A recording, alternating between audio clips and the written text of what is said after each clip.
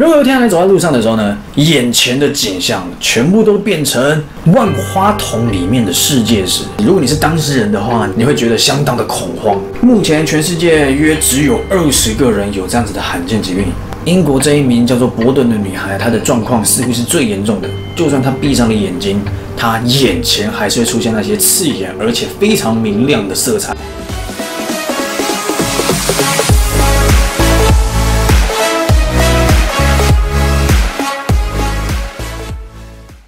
Hello，ladies and gentlemen，大家好，我是米哥，欢迎收看莫名其妙这个感觉这个神秘不可思议的事情。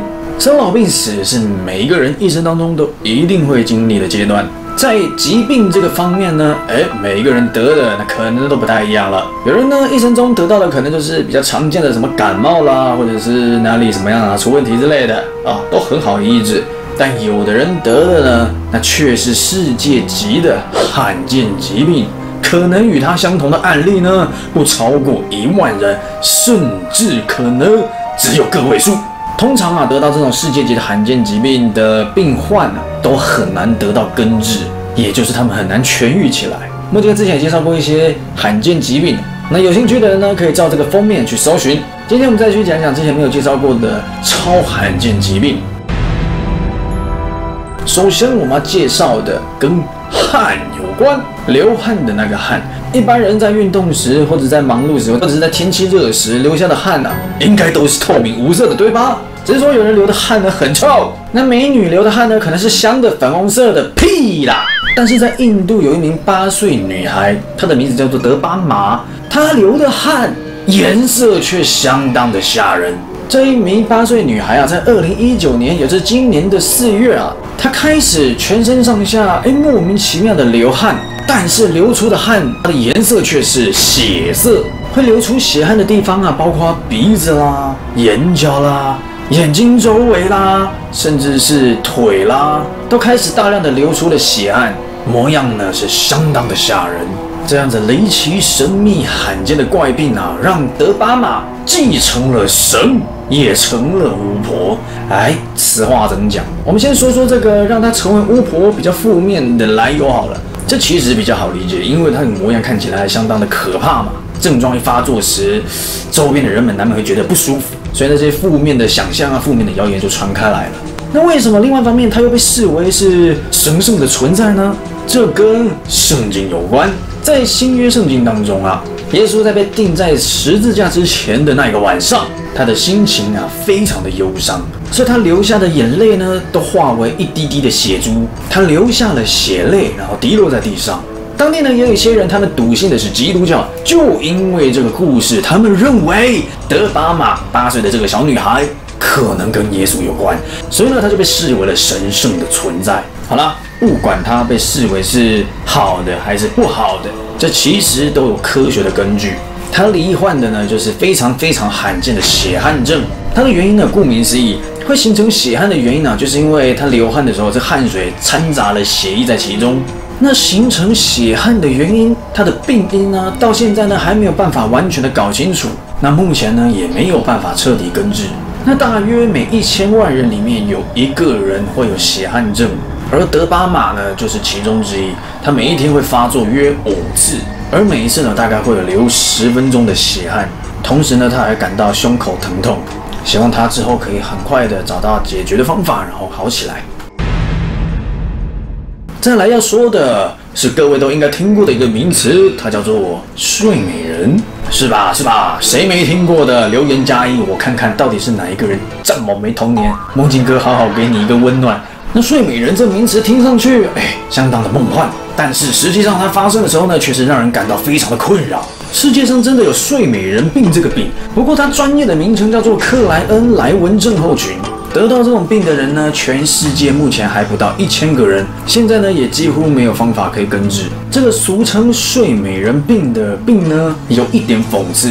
实际上得到这个病的人呢，基本上都是男生，每一百个得到这个病的人，有七十位都是男的，所以他应该改成睡帅哥症候群。这边举一个案例哦，英国有一个十一岁的男孩，他叫做梅森，他从六岁开始呢就被诊断出了克莱恩莱文症候群，他的症状蛮严重的，他常常一发病啊就要几乎连续睡上好几天，当他发病时，至少每一天都要睡到超过二十个小时。各位，你睡满八个小时、九个小时，可能就很难再继续的睡下去了。如果你是前一天大战的相当激烈啊，至于是怎样子大战，那就不好说。反正如果你是很劳累、很劳累，那你睡超过十几个小时还说得过去。但如果你每一天都要睡超过十几个小时，我相信那应该变成是你很痛苦的一件事情。那梅森呢就是这样子，他的童年基本上都是这样子度过的，不分白天或是夜晚，他一发作就是可以一直睡，一直睡。当他睡醒的时候，会出现另外一个反常的情形，就是拼命的吃，大量的进食，而且就算是他醒着，他也会像是非常没有睡饱一样，很拼命的打劲，而且看起来相当的疲倦。他一年约会发作十次啊。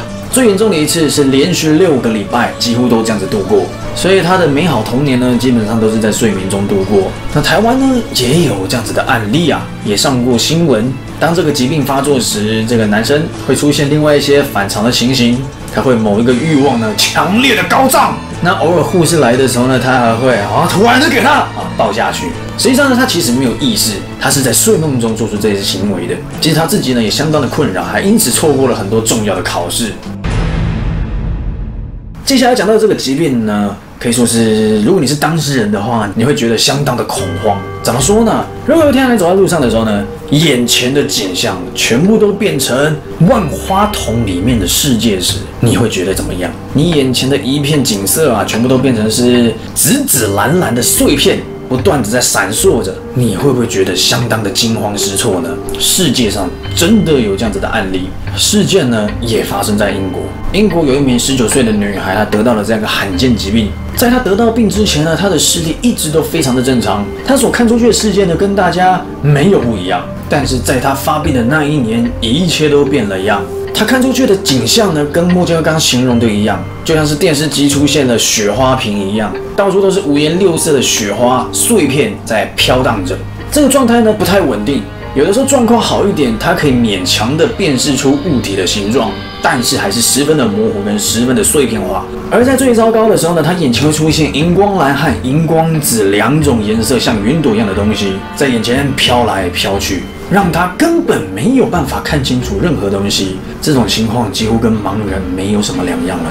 他回忆说道，在得到这个病之前呢，他突然感觉到了非常非常剧烈的偏头痛，在剧痛过后呢，他的右眼就什么都看不到了，眼前呢就出现这些五颜六色的碎片飞舞着。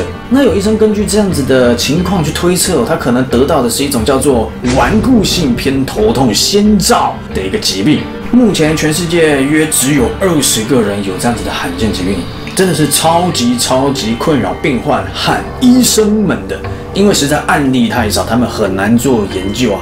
而在所有目前已知的案例当中呢，英国这一名叫做伯顿的女孩，她的状况似乎是最严重的，因为她严重到就算她闭上了眼睛，她眼前还是会出现那些刺眼而且非常明亮的色彩。